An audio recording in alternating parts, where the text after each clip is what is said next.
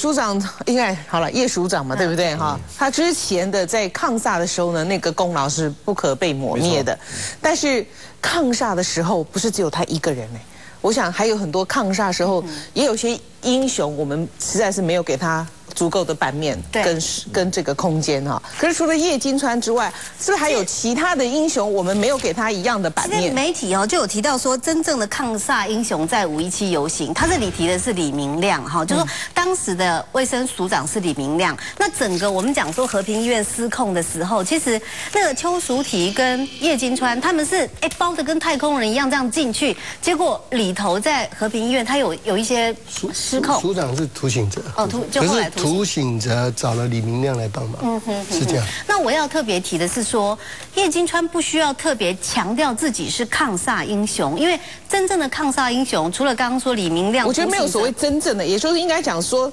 抗煞期间，大家都有，但是我刚刚想想请玉珍补充的意思就是说，是不是有其他的英雄，我们没有给他足够的版面被呈现？现在变成狗熊，因为呢，我当时呃有看到几位医师，他们是立下遗嘱，然后决定说，好，因为和平医院已经失控了，所以当时呢特别拉出一个松山医院，希望呢把这个和平医院真正的病患，因为那时候的一个一个病房的问题，就是这个负压病房的问题。所以呢，后来空松山医院这边弄好了之后，第一个接受陈水扁当时当总统的时候委托，就说好，我进去。他是自告奋勇说，我进去。那个人是谁？就是现在非常变成狗熊的黄芳燕。他当时自己签好了一个遗嘱。那我亲眼看到那个他自己把小孩，就是他自己生下一个小孩在念书，他交给一个好朋友说。呃，我里面我一点给当出来，好，那所以如果怎么状况的话，你帮我照顾一下我儿子。那其实我们当时看到几个人就说，都觉得那个是真的是风萧萧兮易水寒。嗯，还我还看到另外一位荣总的医师，他刚新婚，那他太太陪着他，呃，我们要请他们吃个饭哦，然后有那时候有黄芳燕，然后另另外有一位那个杨医师，然后三位医师。他们呢都没有把握自己一进去之后出不出得来，而且他们是要进去之后真正面对病患，不是像叶金川。叶金川其实大家说看到那个画面，他蛮轻松的，但是他不需要直接去处理病患。可是这些立遗嘱的人，他们是。觉得自己可能要面对，到时候要救这些人，所以他们连命都不要了。还有几位已经过世，像今天媒体也提到说，当时的林仲威医师，很多医师，他真正去救那些病患。那所以我觉得不止叶金川，很多人在抗煞那个过程，我们想到都很悲情的。部队打仗啊，有一个将军。带头，那有很多的这个营长、嗯，旅长、营长，然后甚至于排长，这是冲锋陷阵的。嗯，今天叶金川为什么他敢自称为他自己是抗煞抗煞的一个有功人士？好了，在当时的时候，台北市的时候，那个时候疫情已经有点控制不住，特别是邱淑媞，嗯，已经完全没办法掌控整个台北市的疫情。那个时候是叶金川主动去跟马英九讲，这个邱淑媞这个你一定要处理掉。嗯。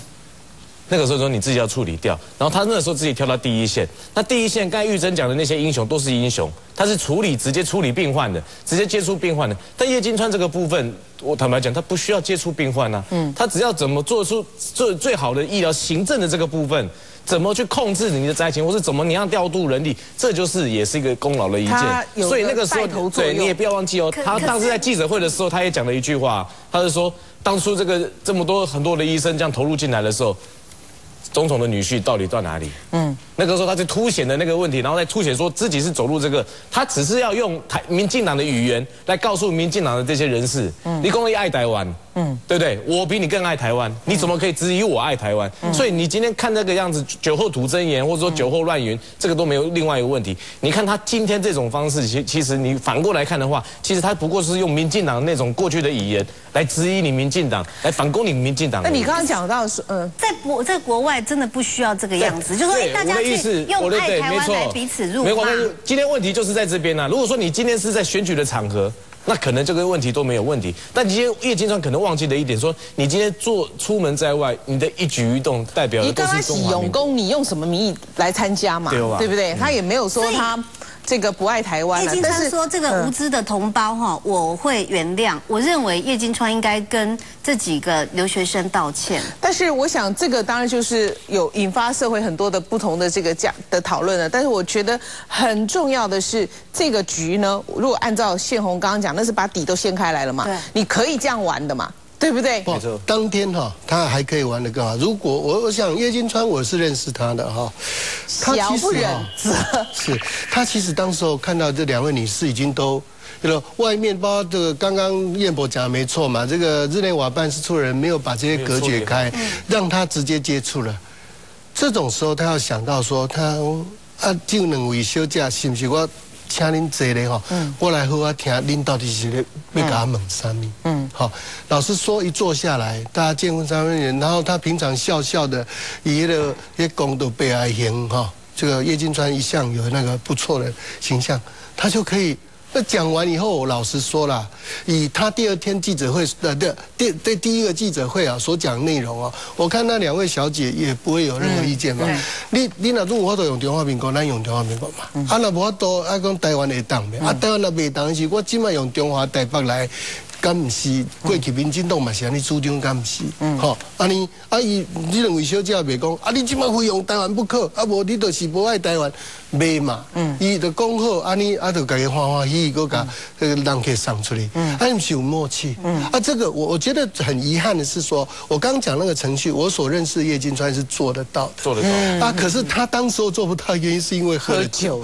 啊嘟嘟家己掠落去，啊嘟嘟哥我那有情绪了哈，因为很多人在。呛说他来送那些客人的时候，他感觉到一个礼不民住了，嗯，好一干不干尼啊，所以这个有很多因素存在。现在又搞得自己，信勇哥，我们都都也知道的，就是说现在台台湾的问题是说两党的距离哈是比两岸的距离还大，是，所以所以你不可能去配合有那个默契做那个事情。说实在的，所以我说。国民党来讲，要很多事情要有智慧。对，我跟你讲，你讲这句话，我真的，我真的就想讲。多少这一点我要解释哈。你想一想，我们今天就有一个事情嘛哈，就五一七，你去创新节警察刚弄的家伙嘛。嗯。那原来这个本来你说台北市跟这个五一七的群众之间，黑是波下面谈共的嘛。嗯。那个头前较真很厉害，大家画来画去。弄掉以后，郝龙斌打电话和吴乃仁的处理啊。嗯。他打电话就表示他愿意道歉。嗯。吴乃仁这边一听你愿意道歉，而且代志就是有意外。嗯。啊，大家就随出来讲啊嘛。你看连挂件名人出来讲，所以就是表示双方之间只要有人告诉你说，大家都互相的信念嘛。嗯。不然的话，五一七这场车祸可以变成是二二八的那个临江麦啊，它可以变成是这样啊。嗯。啊，也可以变成今天变成这样，所以我的意思说，以叶金川的这个这个背景跟他的修为，跟一届联盟那一些人呐，或是说这些人，他怎么会做不到？叶金川跟马英九的关系，他们长期的交往是怎么样？两个都是建中同学了，嗯，那么台大当然不同学院，嗯，不过我想应该还是有来往，嗯，哦，毕竟是高中同学过嘛，嗯。那叶金川，我是觉得他每一次碰到重大的关键时刻，他就会放枪走板。好，嗯，你看他选宣布参选台北市长的时候，有吗？有有。那时候蚂蚁男力挺他，其实党内初选，其实叶金川能够出来，其实马英九某一个程度是默许的，所以包括金辅聪、蚂蚁男这些人都是大力辅选。那时候整个四五团队是整拼命的要帮发辅选，而且我先插一下，就是说马英九手上你注意看哈，他主要用的。呃，我不是要讲省级，可是可是非本省级的是比较多。叶金川在他的队伍里面是少，是是难得的本省级的人。嗯，OK，好。